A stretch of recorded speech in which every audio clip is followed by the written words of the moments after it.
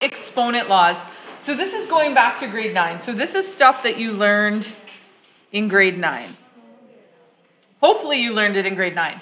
If you didn't, that's okay. I'm going to give you the crash course in it right now. So the product power of laws. So what that is, is if the base is the exact same and we're multiplying the powers, we can go ahead and add the exponents. So if I have 3 to the exponent 2 times by 3 to the exponent 4, I can do a quick rule and I can keep the base of 3 and I simply just add the exponents together. Super easy. So that's, but it only works, it only only works if the bases are the same. If the bases are different, you can't do it. So this only works when the bases are the same and we're multiplying them. Now the quotient, the quotient power law, um, if we're dividing them and they have the same base, we just subtract the exponents. But it's got to be the numerator's exponent minus the denominator's exponent. So again, if we have um, 6 to the power of 4 divided by 6 to the power of 3, that would leave me with 6, 4 minus 3, which leaves me with 6 to the exponent 1. Do I need to write the 1? No, I don't. But I'm just going to put it in there so you know that we actually did that math. And the power of a power, that's when we multiply them.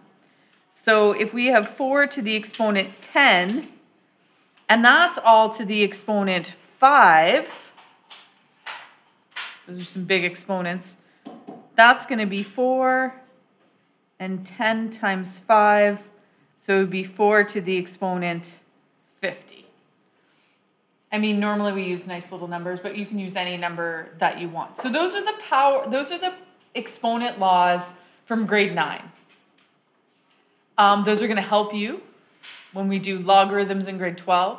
They're going to help you when we, um, as we do this unit as well. Okay, can you prove it? What does this mean? 4 squared to the exponent 3. What does that mean? Maybe we'll start here. What does 2 to the exponent 3 mean? What does the exponent tell us to do? to multiply the base, right? So this means 2 times 2 times 2, right? Like we know that. That's what an exponent tells us to do. So this means, so if I have 4 to the exponent 2 cubed, what that means is 4 squared times 4 squared times 4 squared. You guys would agree with me? And what does 4 squared mean? 16? Uh, yeah, it could be 16, but let's back it up one more. What did you do before? How did you get 16? 4 times 4. So this would be 4 times 4, because that would be that set, multiplied by this set, which would be 4 times 4. And that set, which is 4 times 4. So how many 4s do I have in total there, all being multiplied by themselves? 6. So we would write that as 4 to the exponent 6. Now, we could have done that much faster using the product, or the power of a power law, where I would just multiply these two things together. Pretty straightforward. I'm going to switch colors for a sec. So if we were to do this side of it, this would mean 4 cubed times 4 cubed, right? Because it's 4 cubed squared, so I'm only doing it twice. And each one of these breaks down into three. One, two, three. And this one would break down into one, two, three. And if we count them again, we should get 4 to the exponent 6.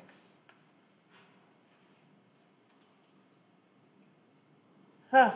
Repeated multiplication. So you guys know when there's nothing stated in between them, that means to multiply, right? Okay. Just because I changed that to that really quickly. So, just so you guys remember that. Okay, can I use the exponent laws to deal with this one? No. No, how come? Two different bases. So the answer here is no. Okay, I'm gonna show you something and maybe you'll like it, maybe you won't, and this is just kind of like a big stretch.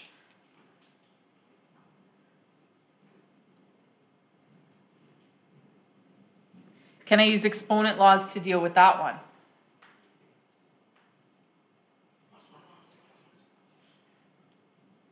I can, You can. but I have to do something first. Divide the nine divided Whoa, by whoa, whoa, whoa, whoa. No. Can't divide, can't divide. You're on the right track though. Can nine be written as a base three number? Yeah. What is it? Three to the exponent what gives me nine? Two. Two. So we can replace the nine with a three to the exponent two, and that's to the exponent two times by three to the exponent three. Because you guys would agree that nine is the same thing as three to the exponent two, yes? Right, so now we can use exponent laws. So the product law, or sorry, the power of a power, what do I do with these? Do I add them or do I multiply them? Right here. Do I add them or do I multiply them? I multiply them.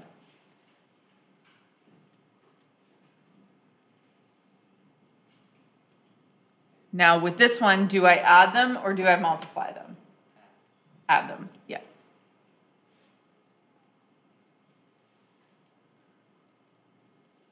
Okay, that was just a for funsies one, okay? Like, that's just taking it to the next level. You will do, if you're in pre-cal, you will do a whole unit, you will do one lesson uh, of the exponential unit on this stuff, creating same bases.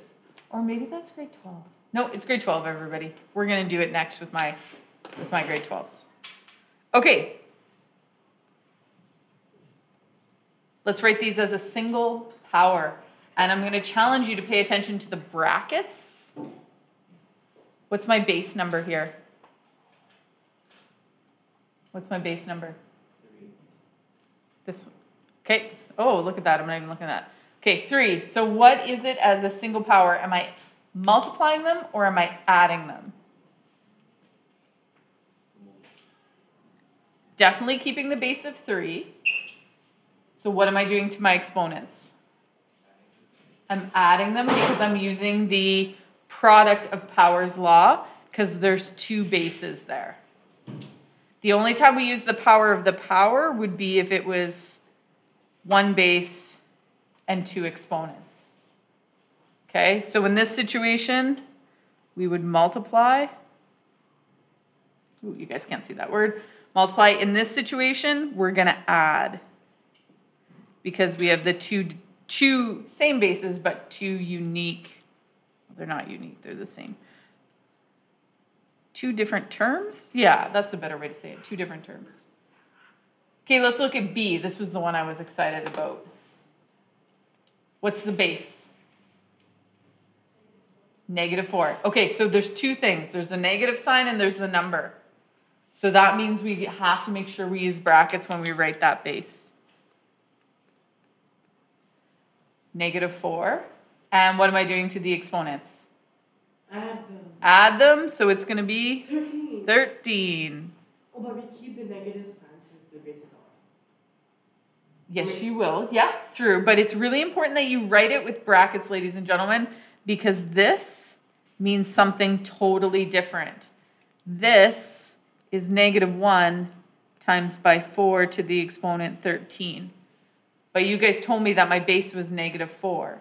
So in order to keep my base of negative 4, I have to put that negative 4 in the bracket.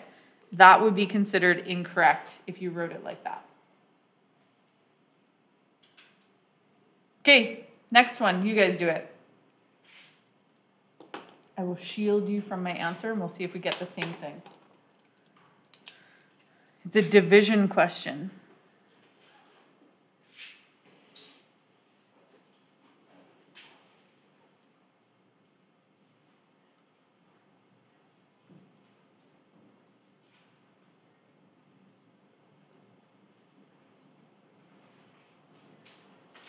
So when I ask you to rate it as a single power, um, I don't want you to evaluate it, like I don't want you to get the answer. I want you to actually just leave it as that base and exponent. So you're writing it as a single power.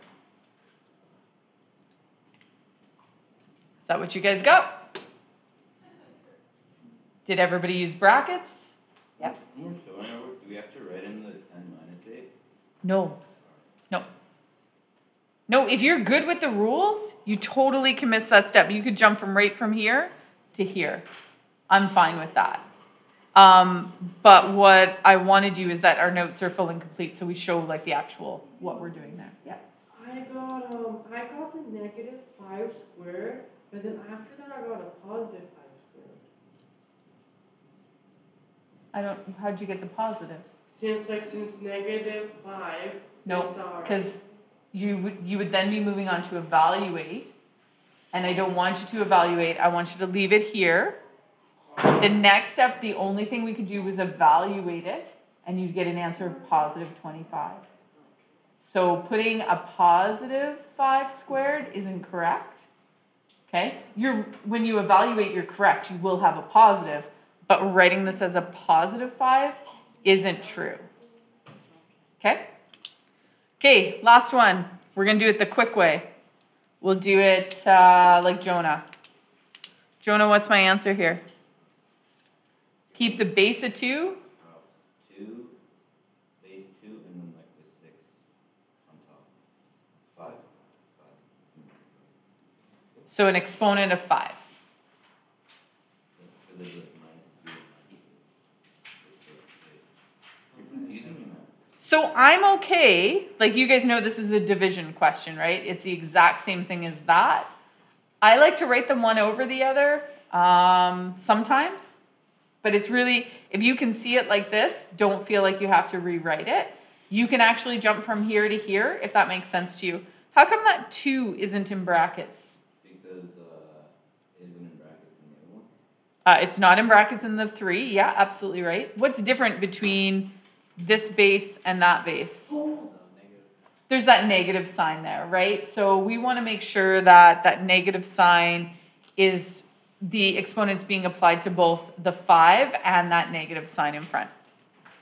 So we don't have to put it when there is no negative sign because it's just a positive. There's nothing else in that base. It's just the two. Okay, that was grade nine. You good with grade nine? Y'all passed grade nine? Oh, we're not done with grade nine. Sorry. Okay, power. Power of a power. So all this is multiplying. So we're going to keep the base of 4, and we're going to multiply 2 times 5, and we're going to have 4 to the exponent 10. What? Oh, I was like, no, it's 4 to the exponent 10. It's not 4 to the exponent 4. Where we are.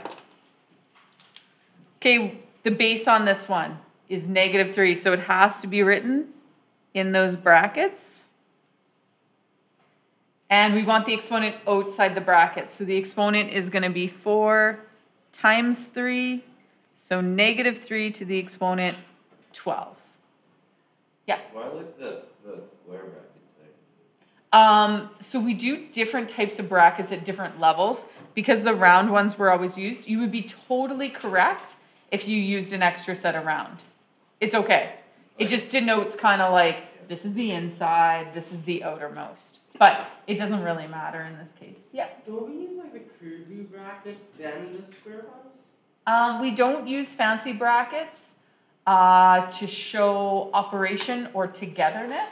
We use fancy brackets when we're doing a list in our domain or when we're doing set notation. They have a different kind of meaning to them. These ones are the mathematical ones that represent operations. And fancy brackets are hard to draw, so let's go with round. Yeah, of course.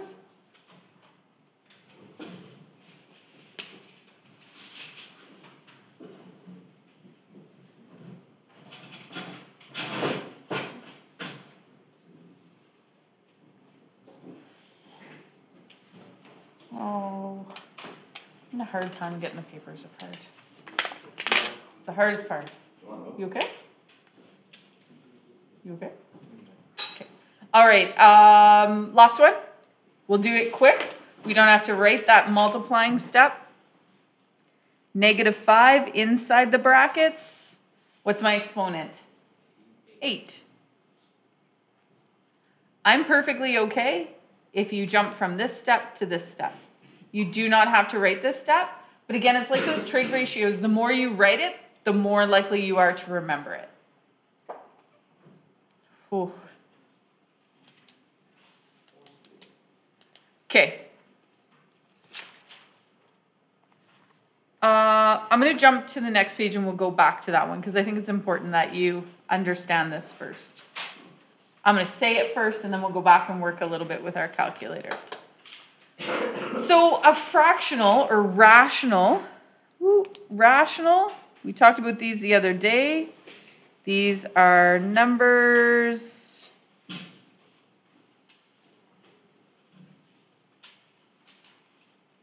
That can be written as fractions. Okay, so rational exponents means we can write them as fractions if we need to.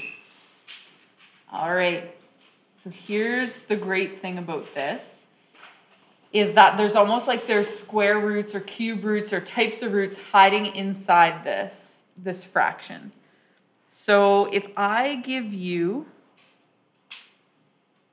um, let's say 2 to the exponent 2 over 3, so if I give you that, this tells you the type of exponent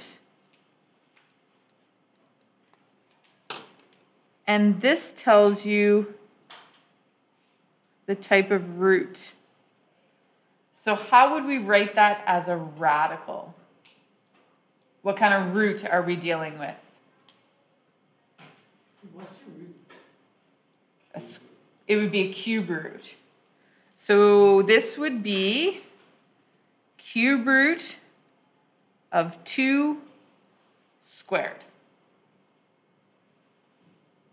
So the numerator tells you what kind of exponent you're dealing with, and the denominator tells you what kind of root you're dealing with. So a rational exponent turns into a root.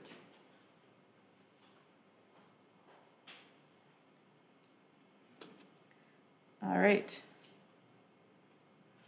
Um, so we know the 5 has an invisible number 1 on it, an exponent of 1. We just don't write that in usually. Um, 5 to the exponent 1 third means I'll have a cube root and 5 to the exponent 1.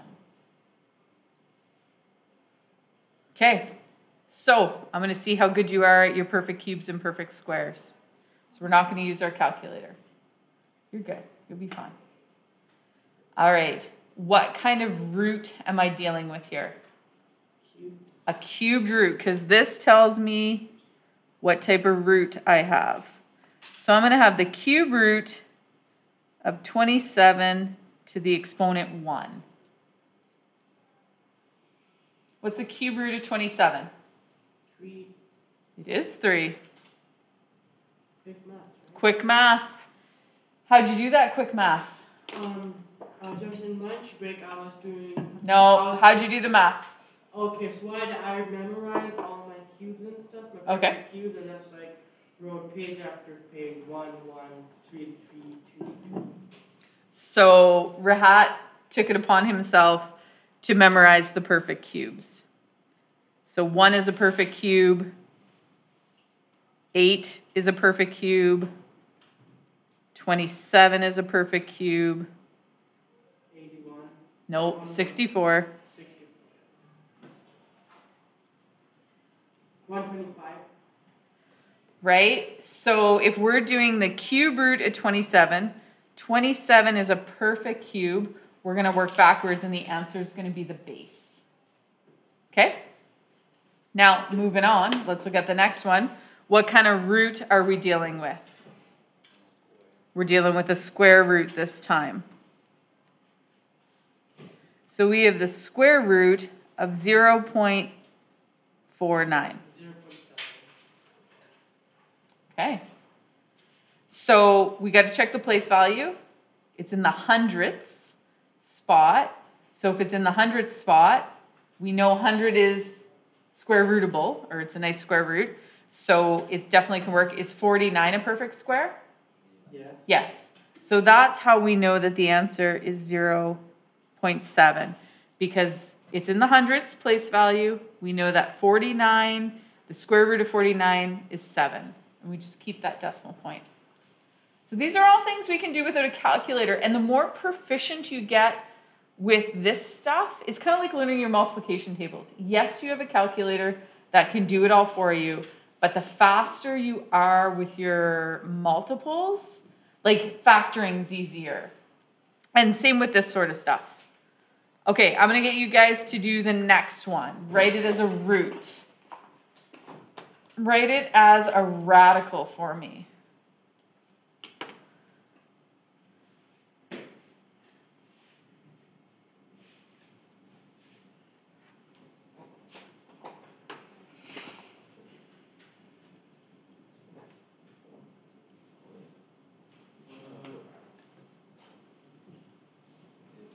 Is 64 a perfect cube? Yeah. Is can I cube root a negative 64? Yes. Yes, because negative numbers, we can deal with them if they have odd roots, and 3 is odd. So if I slide this back over, 64 lands here. What's my root of 64? My cube root of 64 is going to be 4, but this is a negative, so my answer is going to be negative 4. So you see why having that perfect cube and perfect square chart is good to have close, or whether you rewrite it out somewhere, um, you know, you put it on a piece of paper or you rewrite it till you get them. Like I said, if you know the first five perfect cubes, you're laughing.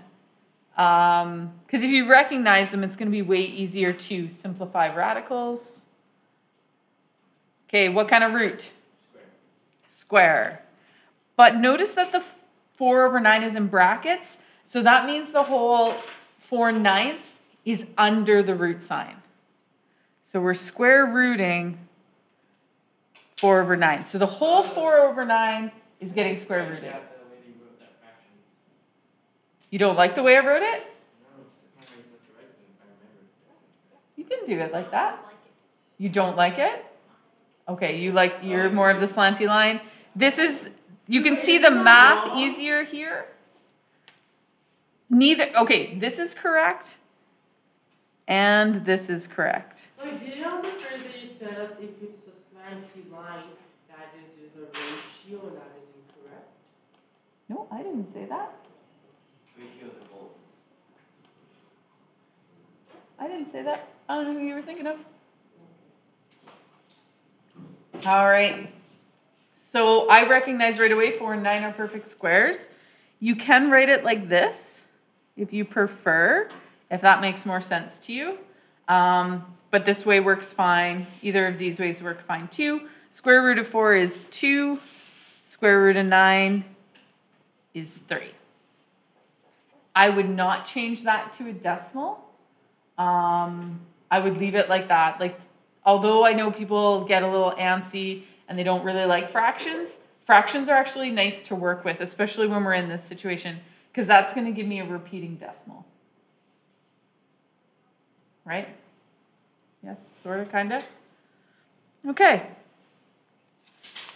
All right. Place values. Place values. Do you guys remember them? Yes? No? I think we did this the other day. I feel like we did this the other day when we were talking about it. I'm going to be honest with you, we don't go very far. So that's the tenth spot. What's the two in? The hundredths.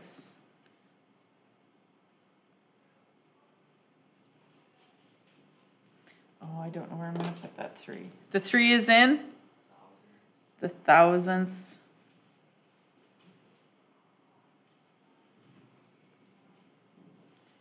I noticed how they have THs on the end of them. I guess that's to distinguish them from the left-hand side of the decimal. And this is in the ten thousandth, the, my tongue always has a Caesar in the end. I think you mean a seizure. Yeah, Caesar and seizure. Yeah. Uh, no. Caesar salad. No, He was a guy. no. No. Julius Caesar? It was a Roman thing. Little future. um, I don't know. I, I don't, that's a good question. I have no idea who the Caesar salad was named after. Are you Googling it, Chelsea? Okay, good. Julius Caesar, also a horrible person. Well, he did get, he did get murdered, so. Yeah, I mean, he didn't. his name is Caesar. Mm-hmm. Yeah. It's Julius Augustus Octavian No, mm, no, not that dude. We're about the made a Caesar. Caesar salad, what, what's his name? Caesar Okay, sounds like an Italian guy. It's like Houdini, but salad. Okay, the salad guy. All right. Okay, ladies and gentlemen, let's we're we're kind of going down a rabbit hole and although I really enjoy that, we got to get back to these. So, in order to convert a decimal to a fraction, so if you've been given a decimal, you need to convert the decimal to a fraction, but it has to be a reduced fraction.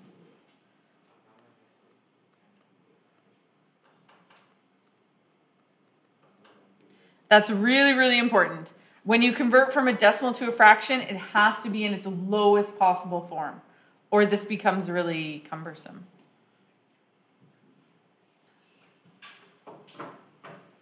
All right, so let's look at that 0.2.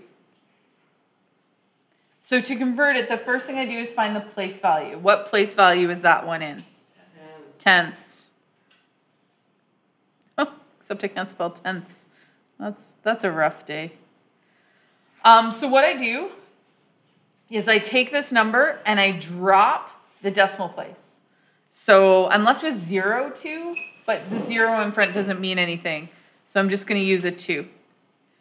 The bottom, your denominator, is going to be the place value that you're in. You're in the tenths place, so it's going to be a denominator of 10. So when you look at that, you're like, oh, it's a tenth root to the exponent 2. But you have to do the reduced fraction. This isn't going to work. So you got to go down to 1 over 5. And if you're not sure how to reduce fractions, you're taking out a common factor. So if this we divide by 2, we have to be able to divide the bottom by the same number. Okay? So this 2 is a common factor. And we've common factored polynomials, so you should be able to do it with just numbers. So that's why the exponent changes to 1 fifth and not 2 over 10. So you have to do the reduced fraction. And now we could write it as a radical. So this would be the fifth root of 32. What's the fifth root of 32? It's one you can do in your head. oh, It's 2. how are you so fast, Steven? It's just How good. two if I can You just keep doubling the numbers. Uh, you did two times two, four. 4 times 2 is Four. 8. No, I mean, Two, four, two- eight, sixty, oh. thirty-two, sixty-four, one hundred twenty-eight. I love it. two fifty-six times. Okay. All right. Okay, we're going to evaluate it with O to calculator. But the first thing I have to do is I got to convert them, those decimals, into fractions. And some of you will be able to do this really quickly, and other people will just take a minute to to think about it. And it's okay no matter what group you're in. What place value is the 5 in? The hundredths.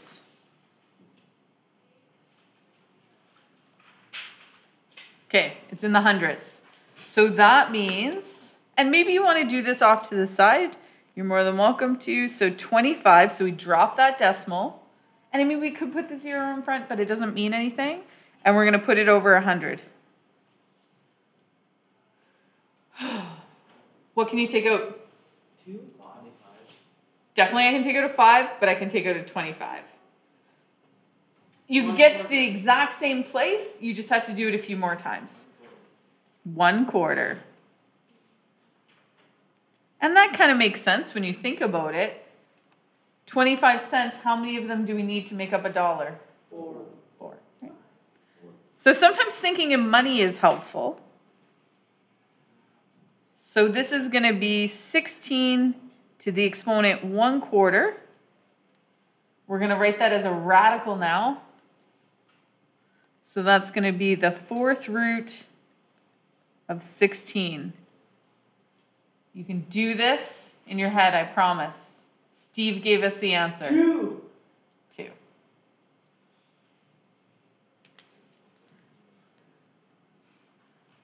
Okay, the next one. Can you all do that quickly? What's 0.5 as a fraction? One half, right? 0.5, 50%, one half. So if you know what it is right away, you don't have to show me that it's 5 over 10 and then reduce it to a half. You totally can if you want to. That's in the tenths place. So that would be 5 over 10. We're going to reduce it by taking a common factor of 5 out. So that's going to be 1 half. So we're going to have 64 to the exponent 1 half.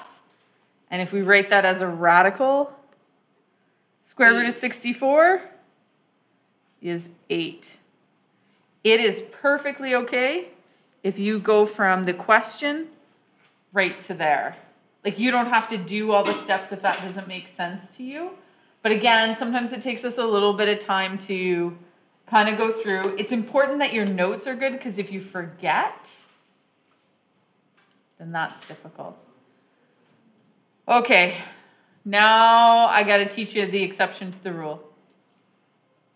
All right. It is. What? Yeah. You use nine? Okay. So this is a repeating number, right? So that means it's three, three, three, three, three, three, three after the decimal, right? We got that? So with repeating decimals, these have denominators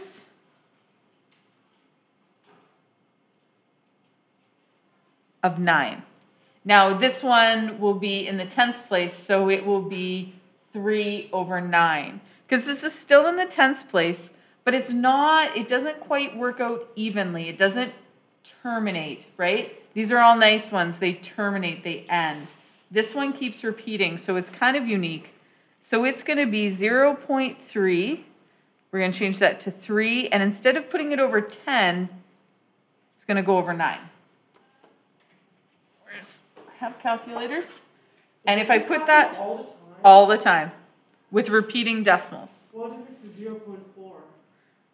let's let's check. Okay? So I'm going to do 3 divided by 9 in my calculator and I get that repeating 3. So, I got to reduce this so I can take out a factor of 3 for each of them and that's going to be a third. So this will be 64 to the exponent 1 third. So that'll be the cube root of 64. Are you guys okay that I'm not writing in the exponent of 1? Is that okay? All right. If you if you need to see that, then make sure your notes reflect that. What is the cube root of 64? Four. It is 4. He is not wrong. Okay, so you asked me. Let's do one better. Let's do 0.44 repeating. What place value is that last digit in? The hundredths. So we're going to put it over, not 100, we're going to put it over 99.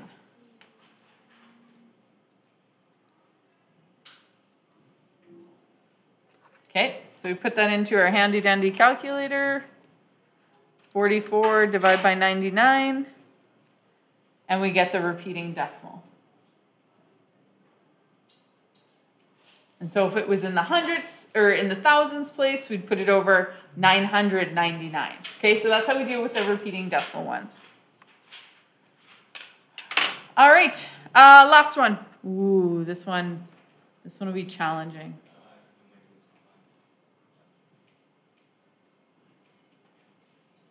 Okay. Can you convert that? Yes, Okay, convert it for me. um. Nope, do it on your page. Everybody wants a shot. Wait. D.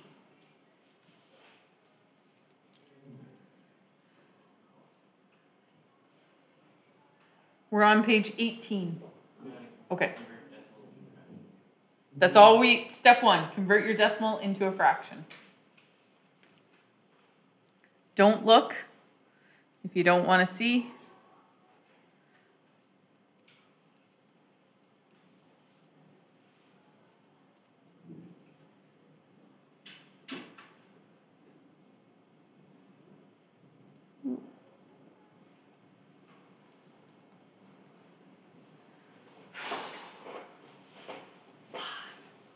Is it five?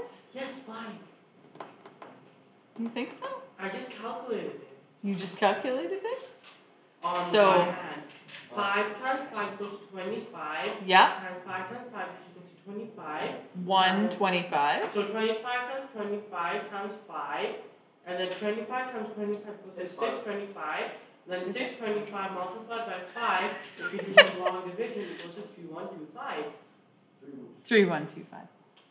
Okay. So Rahat did all the math for us, so we're just gonna ride on his coattails. The fifth root of this is five. All right, so that's gonna be the confidence knowing where your roots are located, um, in that fraction, and being able to convert decimals to fractions. So that's what we're gonna work on today. And that is it. You guys have a quiz tomorrow, I wanna remind you, on for one, for two, for three. So you gotta be able to simplify radicals, you gotta know number families, and you gotta know some perfect squares and perfect cube stuff.